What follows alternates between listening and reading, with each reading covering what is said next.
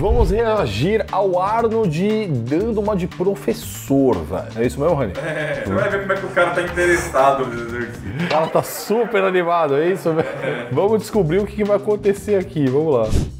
Cara, shapeão, hein? Yes, you too can have a body like Era o corpo coube, ó, tá bom. body like mine. Não, o cabelo do cara é bem, bem da época mesmo, né? body can look like is rather a remarkable man. Ah, o homem notável! Gostei do homem notável, velho. Ó, molecão, né? Ele não tinha metade do físico que ele teve no auge dele, né? Arnold Schwarzenegger. Arnold is probably the most successful. Eu Arnold sempre com seu olhar, tipo, eu sou foda.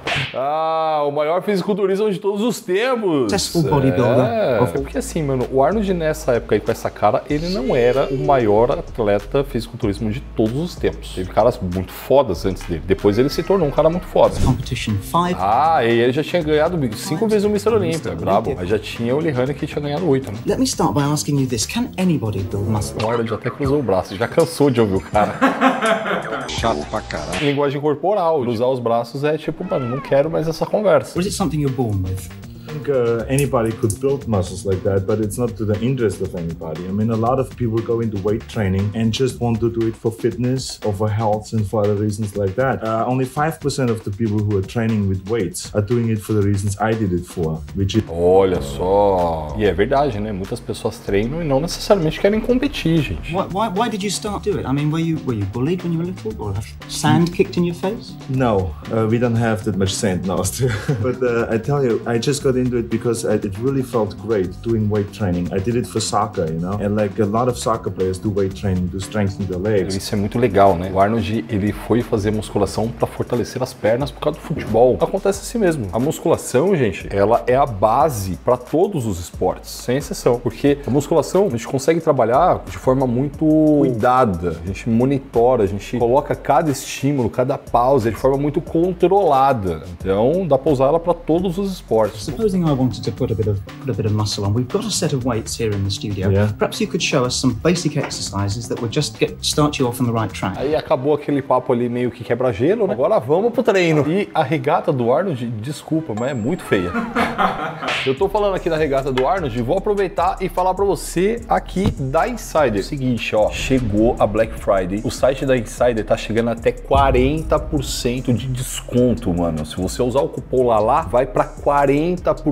E eu vou te dar uma dica aqui, vou falar o meu top 3 peças da Insider que eu mais curto. Top 3, a bermuda, muito da hora, curto pra caramba, a cueca e a camiseta, a tech t-shirt. Se destaca pra mim a top 1, porque além dela vestir bem, ela é super confortável e ainda não desbota, não amassa com facilidade. Se amassar, você veste, ela desamassa no corpo e tem durabilidade surreal, mano. O link tá aqui embaixo, então corre, porque senão você vai perder. Yes, first of all, I have to compliment you for your physical development because Ó, o Arnold, tipo, elogiando o físico do cara. O Arnold tá zombando dele, na moral. Não, mas pelo menos o cara é magrinho, né? Nós só chamamos Okay, the de. first exercise I'm gonna show you is Supino? uh, what we call the bench press. Eu discordo. Nessa época aí, o supino era um exercício muito bom. Hoje a ciência já nos dá o grande respaldo de dizer que, primeiro, é um exercício que muito raramente não vai machucar o ombro dos praticantes, ou seja, na grande maioria das vezes machuca. E segundo, não é um ótimo, excelente exercício, não. Tem exercícios muito melhores. E esse jeito que o Arnold vai pegar, eu tô entendendo que é ali no estúdio, isso é péssimo pro ombro, tá, gente? Mas do Arnold não machuca, porque ele é de ferro, é o exterminador do futuro.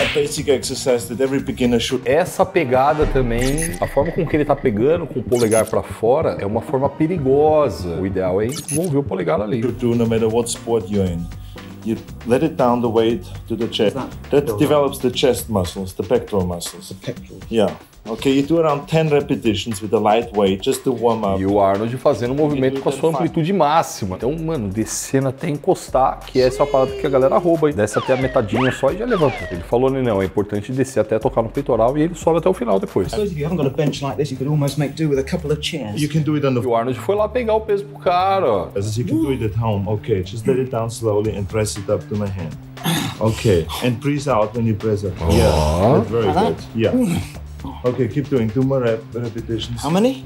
Two more. Você tá conseguindo perceber que o movimento do cara, ele tá meio que descoordenado e aí o cara desce muito rápido. O cara tem características de iniciante mesmo. Olha como é que o Arnold faz de forma cadenciada, controlada, tá vendo? Ele tá fazendo rápido. Olha como que o cara faz. Ó, se liga.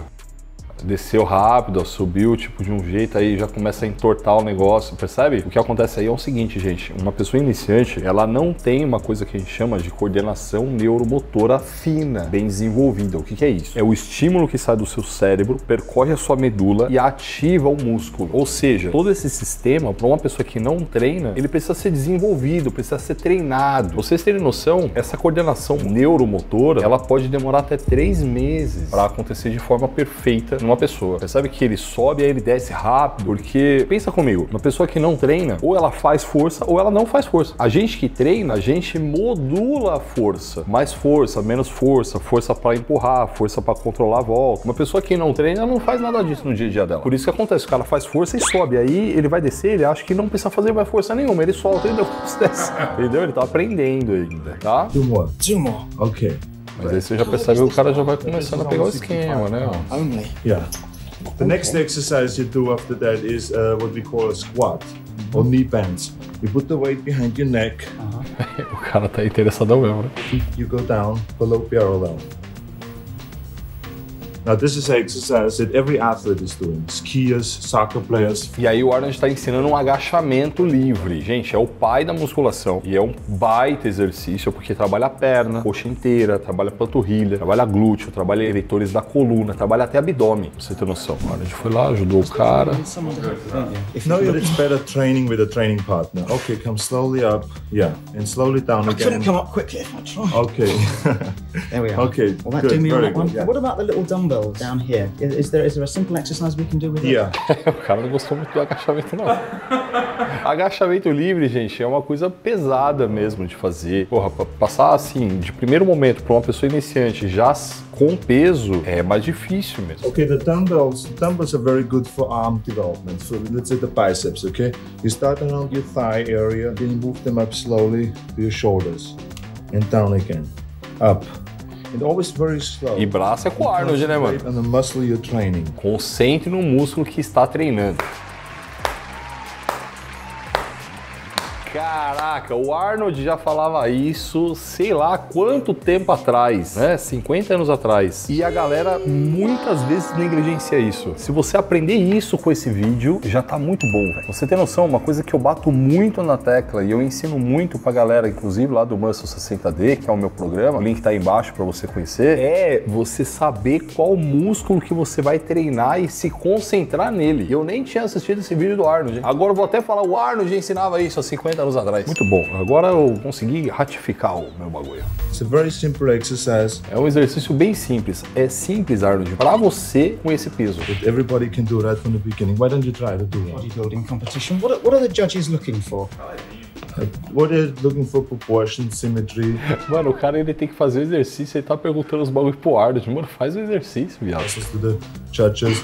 Ah, tá levinho, o cara conseguiu fazer. You start turning it. You start right on the thighs and then you turn it up because the biceps has two jobs to do. One is to lift up the forearm and the other one is to turn the wrist. So that's what we do for me. Isso aí é legal a gente discutir. Percebe que o Arnold pediu pra ele, o cara descer, para a mão chegar do lado da coxa com o polegar pra frente. Ok, e aí ele subir yeah. e trazer o polegar pra fora, assim, né? O que acontece? Esse movimento aqui, ó, daqui pra cá, a gente chama de supinação. O bíceps é o músculo supinador de antebraço. Ele faz essa função. E aí tem uma grande discussão entre, e aí, na rosca simultânea ou rosca alternada, faz essa movimentação ou não? A gente pode falar que é interessante fazer porque o bíceps em si ele faz isso, mas é interessante não fazer também. Quando você chega nessa posição que o cara tá agora, se descer dessa forma, o bíceps ele dá uma descansada. Então manter o bíceps aqui, né, o braço aqui, manteria uma tensão maior. Mas tudo isso são coisas que são diferentes. As duas têm aí uma fundamentação, pode utilizar. E aí, qual a gente usa? Cada caso é um caso. Some. You're already pumped up, but O cara fez duas, três repetições só. Falei pra você que ele tava louco pra treinar com o Arnold. O cara tava zero afim mesmo. Mano, o cara fugiu do O treino. cara tava cumprindo um protocolo só. O pessoal roteirizou lá, falou: ó, você tem que fazer os negócios. Ele falou: beleza. No supino ele fez umas 4, 5. Depois ele foi fazendo uma, duas só. Ele fez dois agachamentos, tira, tira, tira. Pegou os pesos, fez duas, tá bom já. E aí o Arnold tá brabo, né? Working on the arms. Yeah, he's working right now on the chest actually. Eu fiquei olhando pra legenda, eu vi o crucifixo, achei que fosse ele. Competition, which is a very strenuous type of, of training that we go through. It's two hours in the morning and around two hours at night. Gente, isso aí é uma coisa da antiga, né? Duas horas de manhã, duas horas à noite, não se faz mais Which isso. of 50 tons of weights a day 50 toneladas de peso por dia. in order to get those builds. And uh, you know, you gain around 20 pounds of, of uh, muscle size before a competition, like three months before a competition. Listen, it looked to me as though those guys were in absolute agony doing that.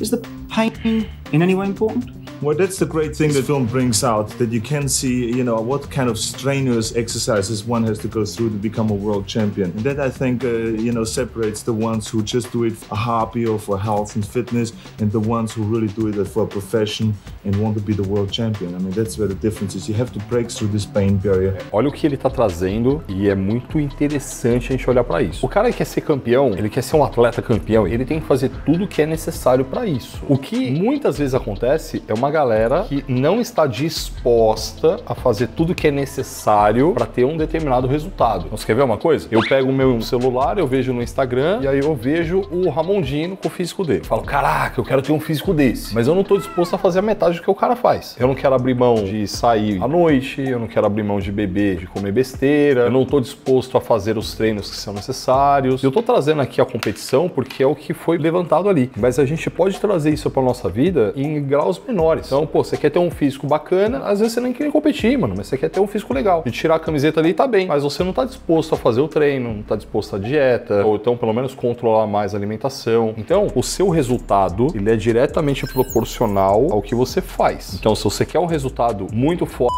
você tem que construir esse resultado. Se você não está disposto a tudo isso, aceite um resultado menor. Eu acho que a, a grande mensagem ali que o Arnold deixou que foi bacana foi isso. Quando o cara ele tá determinado um resultado, cara, ele rompe as barreiras que aparecem. E a questão é, o objetivo que você tem, você tá disposto a romper as barreiras necessárias para chegar lá? E nesse vídeo aqui, ó, a gente reagiu aos momentos épicos na história do bodybuilding. E o Arnold não precisa nem falar que ele é um puta protagonista nesse vídeo. Então clica aqui para você ver os caras que a gente colocou nesse vídeo. Tem o segundo sendo humilhado, hein? Ó, é sério? Sério. Nossa, velho.